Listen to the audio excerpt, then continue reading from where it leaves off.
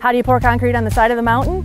You have a concrete truck, a pump truck with a lot of hose, and a dozer to help get you out.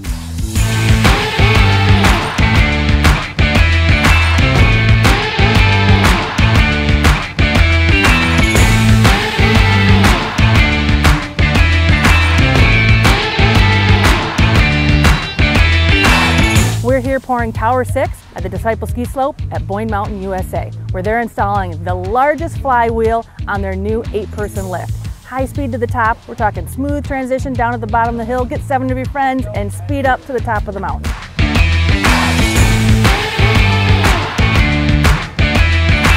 So talking to Doppelmayr about the conditions, they're saying great conditions for this mountain.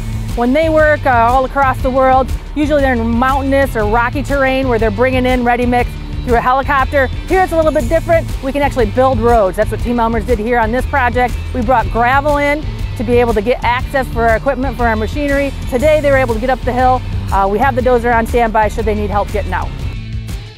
This truly is a team effort. We have our pump truck from Mount Pleasant because the ones in Traverse City were already booked. We have a concrete truck from Alanson coming together in Boyne City, pouring this foundation. This foundation is a foot and a half thick, and then they'll continue with steel posts that'll hold the cabling and bring the eight-person chairlift up to the top of the mountain.